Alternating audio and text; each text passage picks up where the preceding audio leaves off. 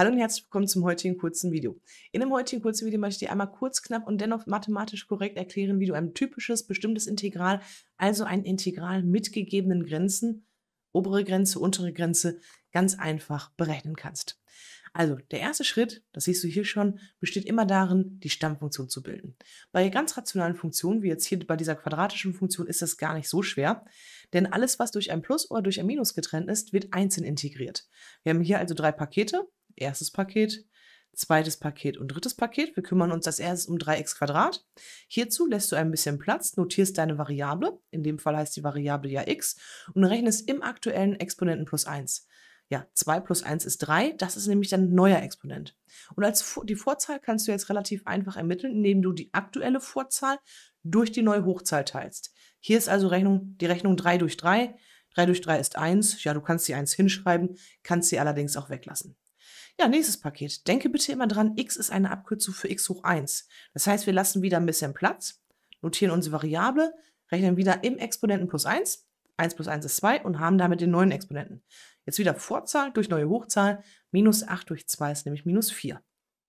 So, und hinter eine Reihenzahl notierst du einfach nur ein x. Jetzt kannst du hinschreiben entweder ein x oder einfach nur, ja, wenn du die 1 weglassen möchtest, einfach nur das x natürlich. Dahinter notierst du dann am besten einen senkrechten Strich und schreibst deine gegebenen Grenzen dran. die 1 ist die sogenannte obere Grenze, die 0 ist die untere Grenze. Damit hast du auch schon hier den ersten Schritt komplett abgehakt. das heißt, erster Schritt ist erledigt und wir kommen zum zweiten Schritt.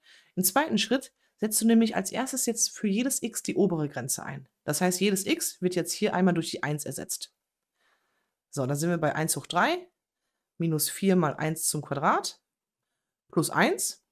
Dann notierst du ein Minuszeichen, eine Klammer auf und ersetzt jetzt jedes x durch die untere Grenze, in dem Fall also durch die 0. Hast du andere Grenzen, dann natürlich andere Zahlen einsetzen, aber vom Ablauf ist es exakt dasselbe.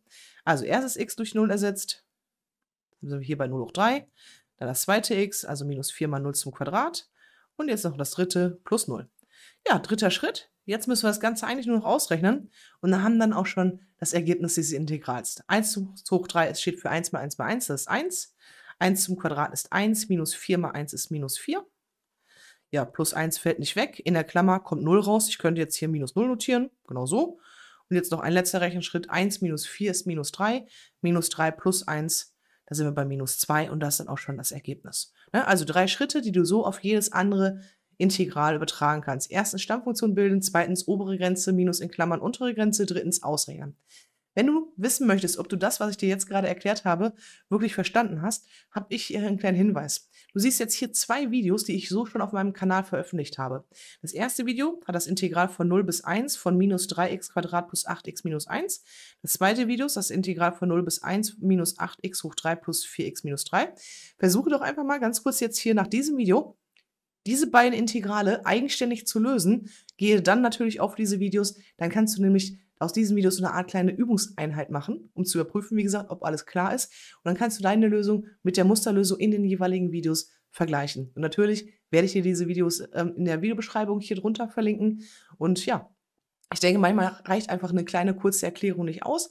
Einmal ganz kurz abchecken, ob alles sitzt. Wie gesagt, löse diese beiden Integrale, vergleiche deine Aufgabe oder deine Lösung mit der Musterlösung in den jeweiligen Videos.